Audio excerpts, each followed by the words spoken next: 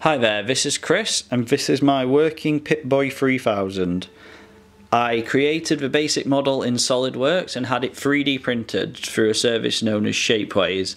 I made a video about this the other week, and I'll put a link in the video somewhere around here and also in the description in case you want to take a closer look at that.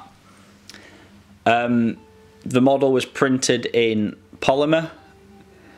That's then been painted and then battered a little bit and a few little extra details like the radiation dial here and then a 3.5 inch LCD display inserted which is linked up to a Raspberry Pi which I'm using to program the interface.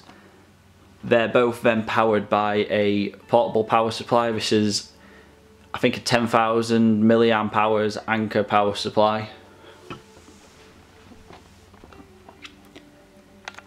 Then I've also created working buttons which have been created through a Makey Makey PCB. Um, it's an interesting device that allows you to change any conductive surface into a button. I'll stick links to all of these in the descriptions in case you want to check them out for your own projects. The Makey Makey actually allows these metal buttons to be used as a touch interface to navigate the device. The interface itself I created in Game Maker.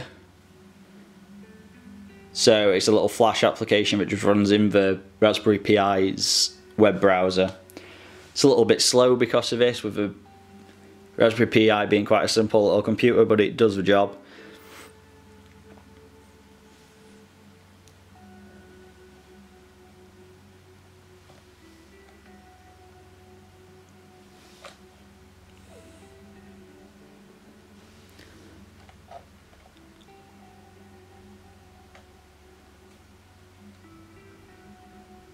As you can see, I've actually programmed in a few of the interface, like interface screens from the game itself,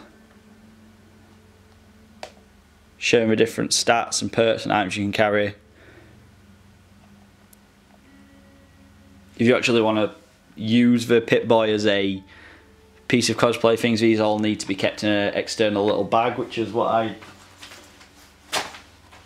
used when I took these to Eurogamer last year. Just carried the external electronics in a bag and then routed these wires through the costume. So yeah, that's my working Pip-Boy 3000 model. Hope you found this interesting. Um, please give the video a like and share with your friends. Um, thanks for watching.